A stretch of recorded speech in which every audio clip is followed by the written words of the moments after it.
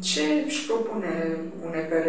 Veți candida separat uh, la alegeri din 2016 față de colegii noastre din acest moment, colegii de alianță? Deci noi avem o înțelegere scrisă, se numește Protocolul Alianței de Centru-Stânga împreună cu PSD-ul, care este valabil până în anul 2020. El prevede candidaturi comune.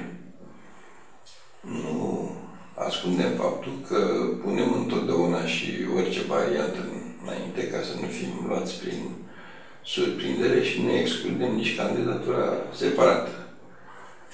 Evident că ne interesează o, o coagulare a forțelor de centru și de centru-stânga, de aceea ce a făcut și acest, această alianță ACS, dar cum nu poți să fii sigur pe nimic decât pe propria noastră semnătură și cuvânt dat, ne pregătim să fim capabili să avem un scor bun și separat.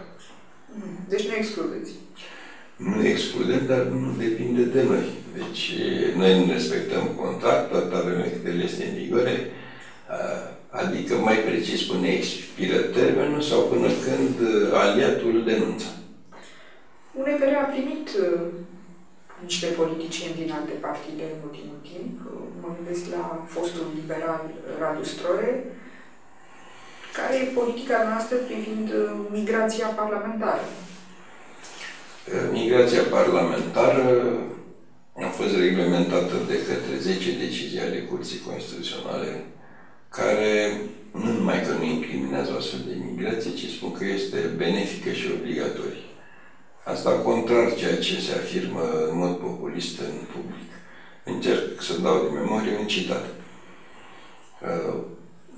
Societatea nu rămâne încremenită timp de patru ani cât durează un mandat, Astfel că dacă Parlamentul ar rămâne neschimbat, adică traduc eu fără migrație, s-ar crea o discrepanță între societate și Parlament.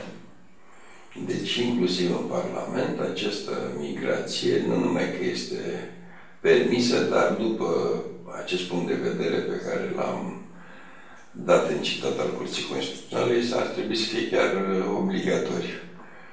Uh, în ceea ce ne privește, noi acceptăm ca membri orice persoană care aderă la principiile noastre, care doresc să dea dovadă de seriozitate, de disciplină și să apere interesul național.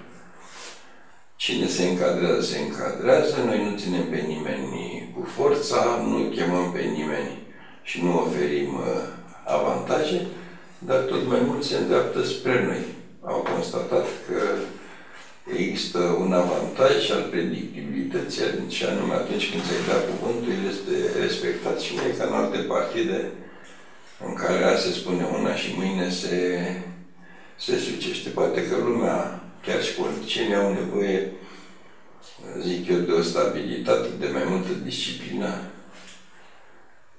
Și asta oferă un împreună. Da.